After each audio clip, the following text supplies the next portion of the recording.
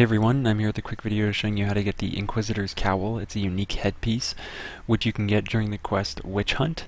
In order to start this quest, you have to go to the Children of Atom base, the nucleus, which is pretty much in the center of the map.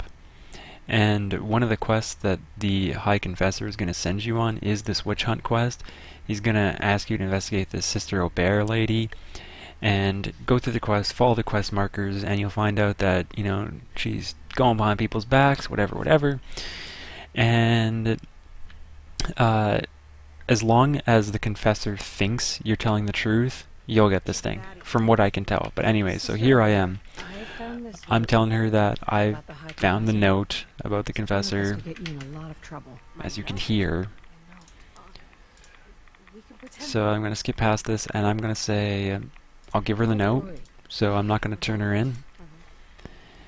Um, and now I'm going to go back to the High Confessor. I'm like, yo, fess, bud. Um, you know, she's clean. Because I don't like him, you know. I'm just acting like I'm on his good side, so when I sabotage him, it's all the more impactful.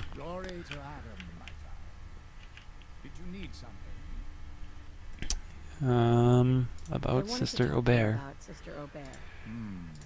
So, boom, I'm going to pass the speech check here. Aubert's loyal. I looked into her. See my confidence? Of course I'm going to pass it. I must say I'm surprised. I got like a 9 charisma though, so. And plus I got the lady killer perk or whatever.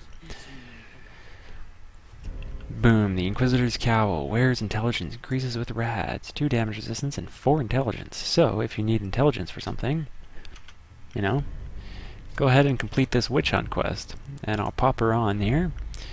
Uh, Inquisitor's Cowl. Looking like a gypsy. But, yep, that's it. The Inquisitor's Cowl.